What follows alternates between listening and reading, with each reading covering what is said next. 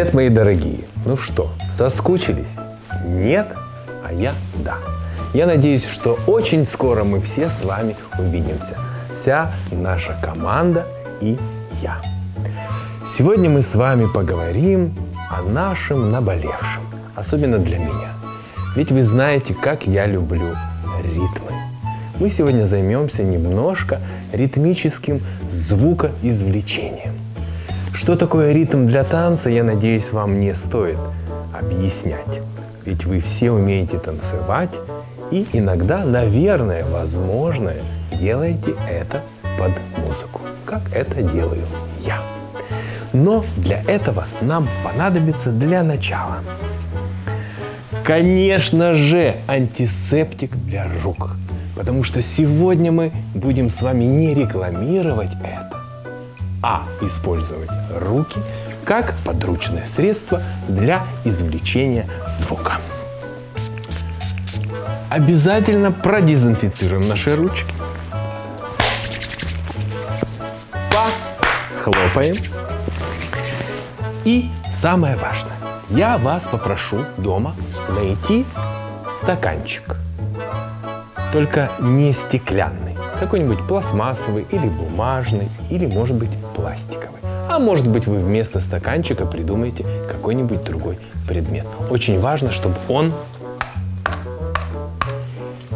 извлекал звук. Любую плоскость, это может быть стул или краешек стола, используйте для этого. Стаканчик мы с вами будем держать в правой руке. Но для левой руки нам понадобится с вами коробок спичек. Это обычные спички, которые мы тоже с вами будем использовать для звукоизвлечения. Итак, в левой руке у нас будет коробок спичек, а в правой стаканчик. Что я вам предлагаю? Я предлагаю правой и левой рукой задавать друг другу важные ритмические рисунки. Мы будем с вами начинать от простых рисунков до сложных. Я вас попрошу привлечь к этому действию ваших мам, пап, братишек, сестричек, а может быть даже бабушек и дедушек. А если у кого-то есть попугайчик или котик или собачка, я уверен, что они тоже вам с удовольствием помогут. Итак, что касается ритма правой руки. Например, вы бьете один удар. Этим ударом вы задаете задание левой руке показать такой же удар. Потом вы делаете два удара – левой рукой повторяйте. Если напротив вас сидит папа или мама, они должны повторить удары за вами. А сейчас я вам покажу, как это в действии происходит. Я подобрал музыку, которая сегодня подчеркивает мое настроение и, в принципе, настроение мое по жизни. Внимание, посмотрим.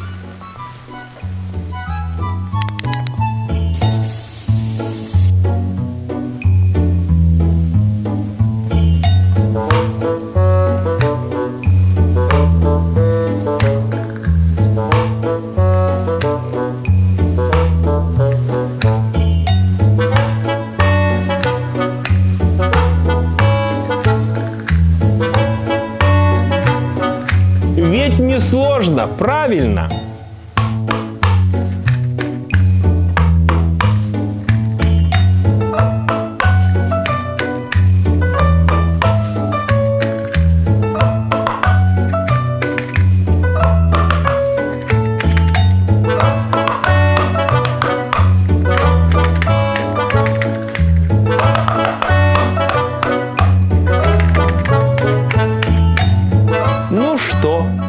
Понятно ли вам задание? Благодаря таким заданиям ритмическим вы внутри рождаете в себе ощущение воспроизведения собою музыки. А самое главное – попадание в акценты тех изумительных аккордов, которые звучат в той или иной композиции. Что касается композиции, я вас попрошу найти свои любимые мелодии, свои любимые песни, какие-нибудь произведения, под которые бы вы хотели сделать подобное легкое, как на мой взгляд, упражнение. Самое главное, что это упражнение очень и очень полезное. Полезное для всех абсолютно. Ну что, если вы поняли мои задачи, выполняйте. Всего вам хорошего. Следующий кадр. Э, Что, мне может поближе или подальше, чтобы было... А сейчас, дорогие мои, немножко экскурс в историю. Историю одного замечательного музыкального инструмента, который появился самый-самый первый на нашей планете. Как вы думаете, какой это инструмент? Не знаете? Я уверен, что кто-то догадывается, а может быть и уже ответил на мой вопрос. Самый первый музыкальный инструмент это был ти-ти-ти. Конечно же, барабан. Это был ударный инструмент. Инструмент, который за счет того, что натягивали кожу на огромную деревянную такую тумбу, благодаря ему извлекали звук. Под эти звуки барабанов устраивали огромные большие танцы у костров, какие-то разные перформансы, представления, вызывали даже дождь. Но, конечно же, можно было бы сказать, что первым музыкальным инструментом это был гром или дождь, который капельками падал на землю или на воду и извлекал звук. Так вот, самый первый ударный инструмент это был барабан.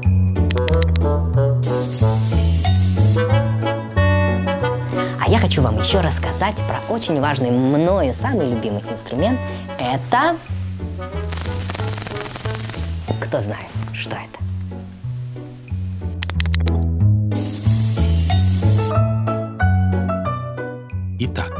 Маракас или марака. Да-да, совершенно верно, ударение на вторую букву А. В обыденной жизни мы привыкли слышать и говорить маракас или маракасы, если их много. Но это классификация ударные музыкальные инструменты. Именно маракас или марака. Это древнейший ударно-шумовой инструмент коренных жителей Антильских островов, индейцев Таино. Разновидность погремушки, издающей при потряхивании характерный шуршащий звук. В настоящее время мараки популярны на всей территории Латинской Америки и являются одним из символов латиноамериканской музыки. Как правило, музыкант, играющий на мараках, использует пару погремушек, по одной в каждой руке.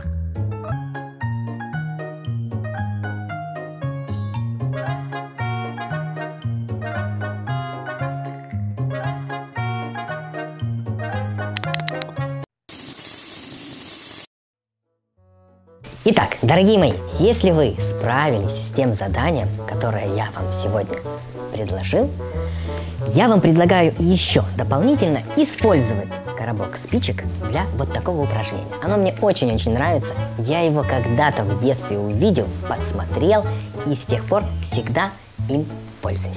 Мы используем наши спички как маракас. И для этого я предлагаю взять музыкальную композицию, любую, из латиноамериканской культуры. Можно взять кукарачу. Что мы берем? Руку, коробок спичек мы должны ударить сверху и снизу. Но, задавая ритм,